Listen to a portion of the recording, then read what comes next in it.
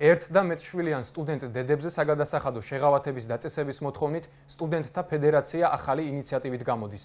საინიციატივო ჯგუფი ერთშვილიანი სტუდენტი დედებისთვის სწავლის საფასურის განახევრებას, ორი და მეტი შვილის დედებისთვის კი საერთოდ მოხსნას ითხოვს.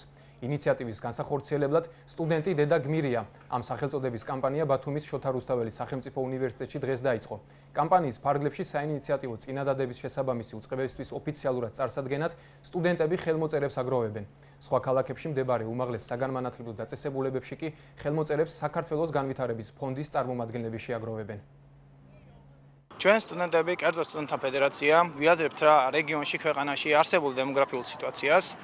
აქციით სტუდენტი დედა გმირიას ფარგლებში გამოდივართ ინიციატივით, რომ საქართველოს მასშტაბით უმაღლეს ყველა უმაღლეს სასწავლო დაწესებულებაში მოსწავლე დედა სტუდენტებს კონდეთ მთელი რიგი შეღავათები. ეს იქნება არა მარტო სწავლის თვალსაზრისით, არამედ ფინანსების თვალსაზრისით და გვინდა რომ ეს ჩვენი ინიციატივა სამომავლოდ მატერიალიზებული იყოს კამდელობის თვალსაზრისით. ეს ინიციატივა ნამდვილად ერთ-ერთი წინ გადადგმული ნაბიჯია და მე როგორც სტუდენტი დედა მოუწოდებ საქართველოს სტუდენტ სტუდენტობას, ახალგაზრდობას, რომ შეუერთდნენ აღნიშნულ ღონისძიებას. ყველა დედისთვის სტიმული იქნება, იმიტომ რომ ბევრს უჭერს და ბევრი ვერ იხდის გადასახადს, იმიტომაც ვერ აბარებენ უნივერსიტეტში და უფრო მისაღები იქნება.